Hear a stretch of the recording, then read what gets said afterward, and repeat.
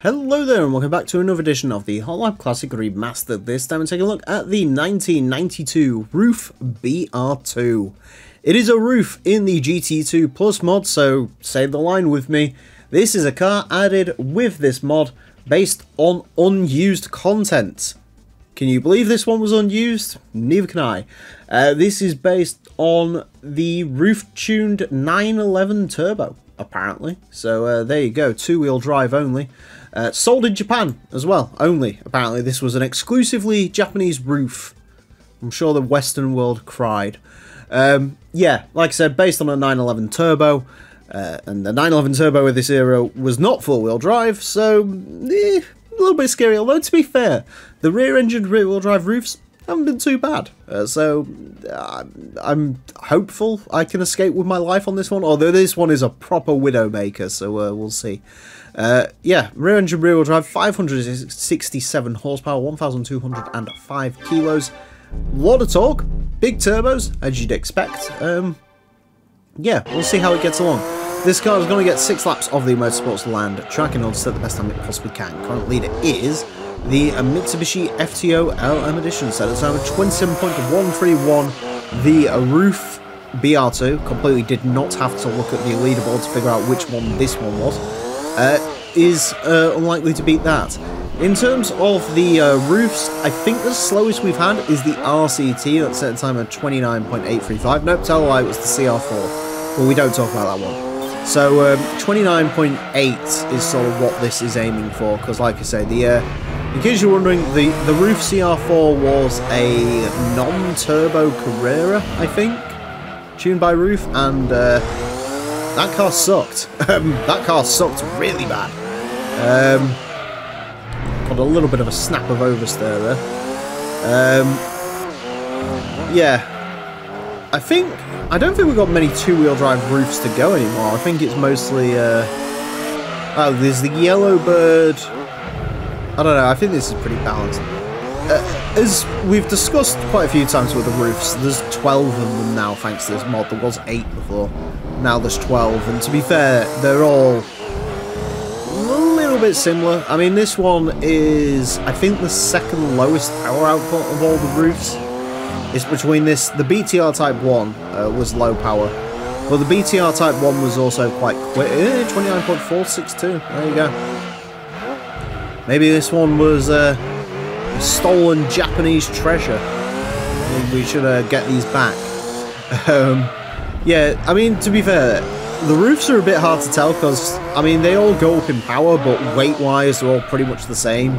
Uh, and these rear-wheel drive ones, I mean, realistically, how much does power really matter once you're over 500 horsepower, you know? The difference between a 650 horsepower RUF and a 567 horsepower RUF is uh, more death-dealing chances for oversteer, I guess. Uh, but the good thing with these cars is they offer really nice traction out the corners. That's sort of the uh, the one thing that's really shocks me in this series. Uh, how nice the RUFs are to drive, to be fair, because usually these cars are uh, regarded as pretty difficult to drive, but they've actually been alright. This 29.138. It's good there. Is there a little bit more time in this? I'm not sure. The problem is with the rear-engined ones is you get a little bit of understeer, but then again you get that in the four-wheel drive ones as well, so... It's a bit of a swings and roundabouts issue, but no, that's uh, deeply impressive. That makes this significantly quicker than uh, well, a lot of the BTRs, to be honest. Uh, again, remember BTR2s, not the BTR4. BTR4 is a different kettle of fish. Um, I mean, that last lap was very scruffy, and even that wasn't that far off. Yeah, this one's uh, this one's quick. I, I don't know what it is about this specific one, because um, I mean, so RUFs, what we got? RCT 29.8, BTR Type 1 29.8, uh, BTR2 29.6. That's the mustached one. Um, I don't know why this one's quicker than that one. I, I literally can't answer that, to be perfectly honest. Uh, I think it was just that solid of a lap by the looks of it. I don't think there's anything more to come out of that, to be perfectly honest. Um, you know, I don't usually like to say that because I often think there's at least a little bit to come out because I don't think I'm the best driver in the world. But uh, yeah, that's not bad. In case you're wondering, by the way, two more rear-engined rear drive RUFs, and then there's four four-wheel drive ones I'm counting there. So that's the uh, current RUF split. Anyways, uh, 29.138 places this into 55th place.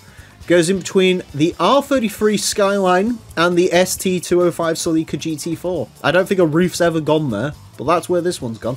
Uh, it's quicker than the Silhouette Formula R30, quicker than the LM GT2 NSX, uh, quicker than TVR Tuscan, which is quite apt, I guess. Um, yeah, as I mentioned, I mean, it's 0.5 up on the BTR2. I don't know... I, I can't give you an answer as to specifically why that is. Uh, in case you are curious, it is no way near... The, the next quickest RUF is four-wheel drive, and that's at like a 28.3, so don't go thinking this is like some sort of big like gap bridge between the four-wheel drive and the two-wheel drives, because it isn't. But, um, yeah, all right, wildly impressive. Good job to the uh, the RUF BR2.